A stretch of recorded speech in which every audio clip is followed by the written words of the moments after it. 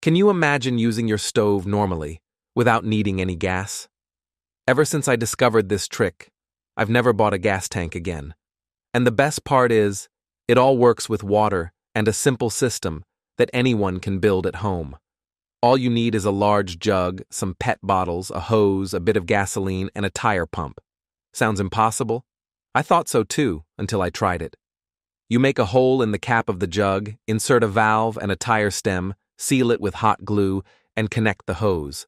That hose carries the air to two bottles, one with gasoline and the other with water. Using the pump, you pressurize the jug.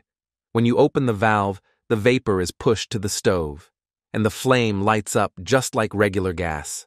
Yes, it really works. The stove turns on, the flame stays steady, and you can cook without any issues. Give it a try and let me know how it goes. See you in the next video.